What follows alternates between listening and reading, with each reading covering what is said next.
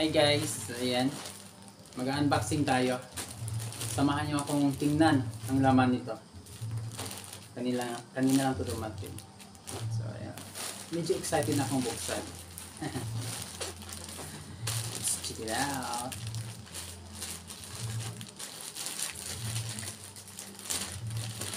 Ayan siya guys. Tan tararan. Tan tararan.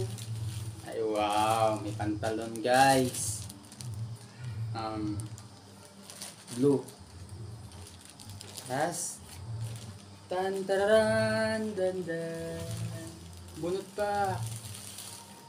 Wow, may light blue tayo. So, may panggala tayo guys. Tan tararan tan tan. Yeah, may black. Tapos Levi's pa yan, no? Yung ano lang.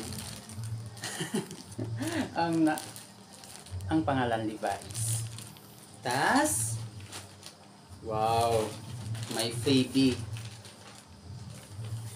Ano kaya tong Fabi? Tingnan natin. Watermark. Oh, may perfume. Maliit na perfume. Saan ito bubuksan? Ah, dito. hindi tayo marunong. Dito pala yan guys, hindi pala dun sa ano. Charan! Napun tuloy. Doon. Ito yung freebie niya guys. Cologne. Ah, perfume. Umuyin natin. Ang Bango guys. Ang bango. O, oh, diba?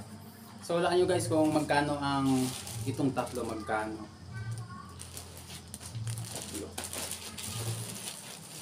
So, ang bili lang naman natin ito guys is